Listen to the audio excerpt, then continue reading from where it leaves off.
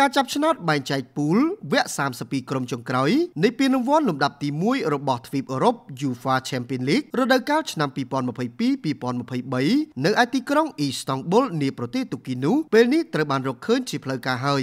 ក្រុមបាល់ទាត់ទាំង32ក្រុមនោះរួមមានអតីតក្រុមជើងឯករង Liverpool ដែលស្ថិតនៅពូល A រួមមានក្រុម AFC Ajax ក្រុម Napoli និងក្រុម Ranger ខណៈដែលក្រុម Ranger ទើបនឹងប្រកួតឈ្នះវគ្គ Play-off ជាមួយនឹង PSV ពូល B រួមមានក្រុម FC Porto ក្រុម Atletico Madrid ក្រុម Bayern Leverkusen និង Club Brugge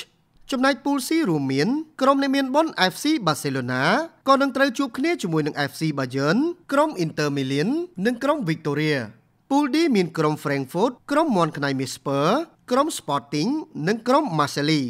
ពូល E មានក្រុម AC Milan ក្រុម Tokyo Chelsea ក្រុម FC Salzburg និងក្រុម GNK Dynamo រីឯម្ចាស់ផ្ទះជើងឯក14សម័យ Real Madrid ស្ថិតនៅក្នុងពូល F នឹងត្រូវជួបគ្នាជាមួយនឹង RB Leipzig ក្រុម Shakhtar Donetsk និងក្រុម Celtic FC ចំណែកពូល G រួមមានក្រុម Mekio Manchester City ក្រុម Sevilla ក្រុម Borussia Dortmund និងក្រុម Copenhagen គណៈក្រុមចុងក្រោយពូល H រួមមានក្រុមអ្នកមាននៅបារាំង Paris Saint-Germain ក្រុមសេបង្កង់ Juventus ក្រុម Benfica និងក្រុម Maccabi Haifa FC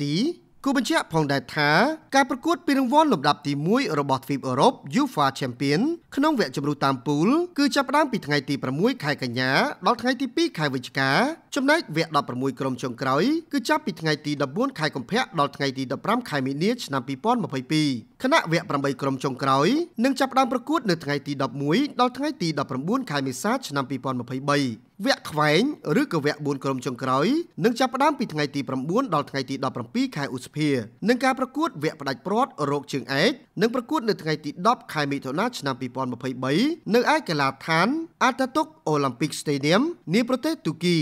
គូបញ្ជាក់ផងដែរថាដំបូងឡើយការប្រកួតផ្ដាច់ព្រាត់នឹងត្រូវធ្វើឡើងនៅឯទីក្រុងអ៊ីស្តង់ប៊ុលកាលពីរដូវកាលឆ្នាំ2020-2021ប៉ុន្តែក៏ត្រូវបានផ្លាស់ប្ដូរមកលីស្បនវិញដោយសារការឆ្លងរីករាលដាលនៃជំងឺ Covid-19